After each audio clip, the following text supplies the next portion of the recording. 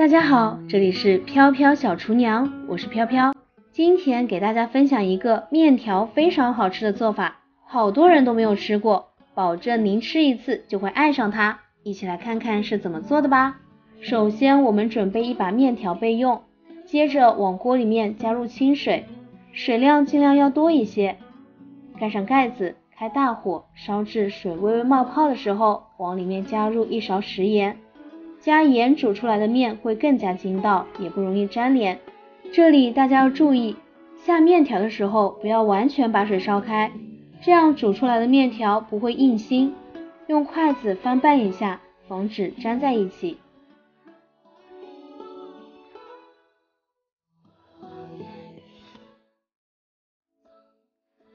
煮开以后，往里面加入一勺凉水。俗话说，三开的饺子，两开的面。加两次凉水可以使面条更筋道爽滑。煮好之后，把面条捞出来，放到凉水中过一下凉的面，吃起来更筋道，口感也更好。过凉以后，把它捞出来，放在大碗中。现在我们准备三个鸡蛋，打入小碗中，往里面加入几滴料酒去腥，用筷子把鸡蛋打散，先放一边备用。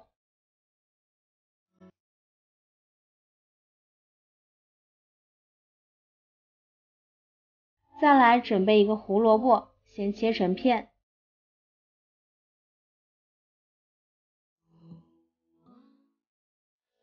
然后切成细丝备用。